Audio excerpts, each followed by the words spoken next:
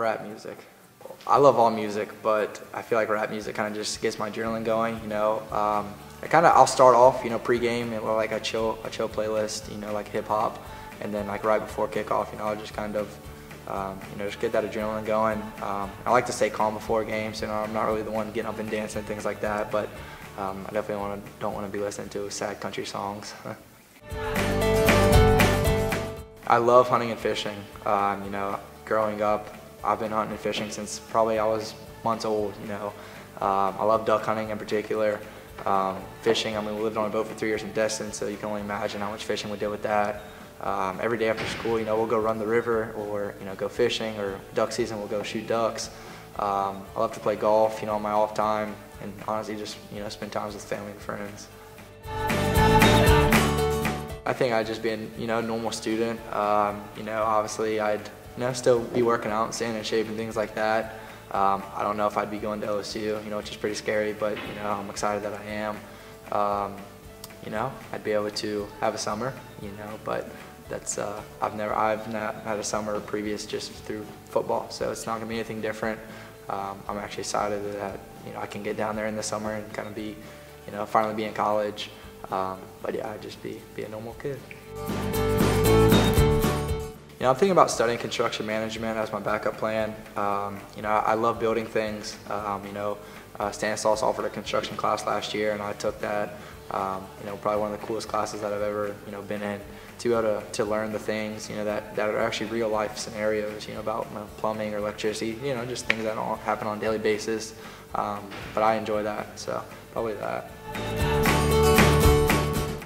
I am, you know, I'm pro you know, I like to, I am, yes. I, I you know, I definitely get brownie points for that, but um, you know, I love both my parents. They both support me throughout any decision. You know, they're going to back me 110%. Um, and, you know, that's not really in every household, so I'm beyond grateful for that. Um, you know, as a family, we've been through a lot, um, but you know, at the end of the day, we're still together and we still love each other. So that's the biggest thing.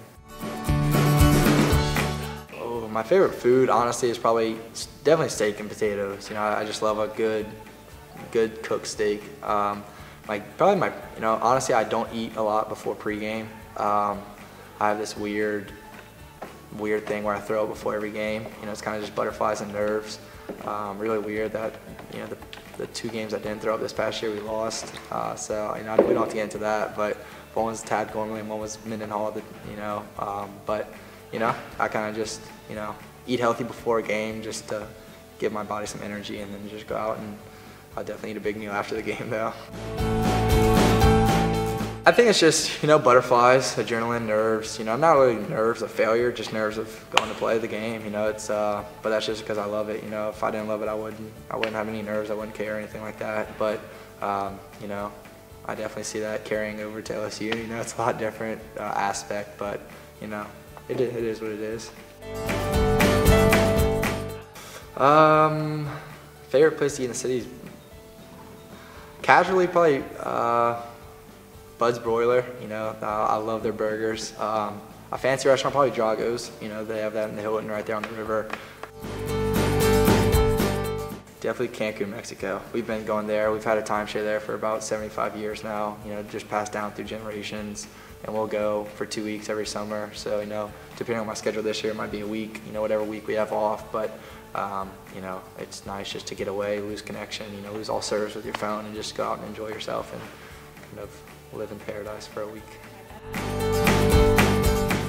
Yeah, probably Peyton Manning, just because you know he's he's he's a he's a Louisiana you know man now, I guess you could say.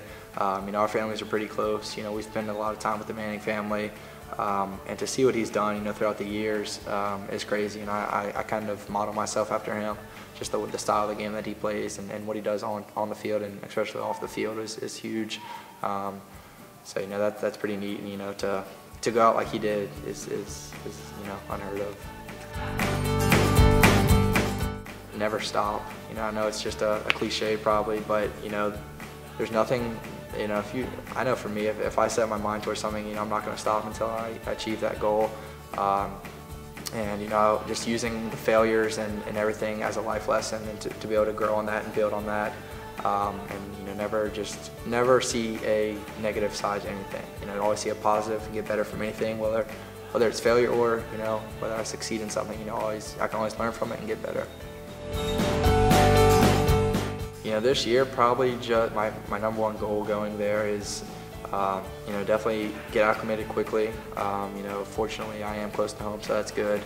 Um, learning the offense, you know, a lot quicker than most guys, um, and then just you know, just kind of get rolling. You know, really um, start flowing with the players. You know, getting to meet all those guys and, and the receivers. Just you know, have that relationship once you know it's go time.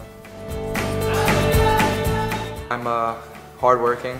You know, I, uh, I've grown up that way, and that's kind of how I've gotten to where I am today. Um, I'm never going to stop. You know, whether it's uh, I play a bad game, a good game. You know, I'm always going to improve and get better, um, and I, I won't let them down.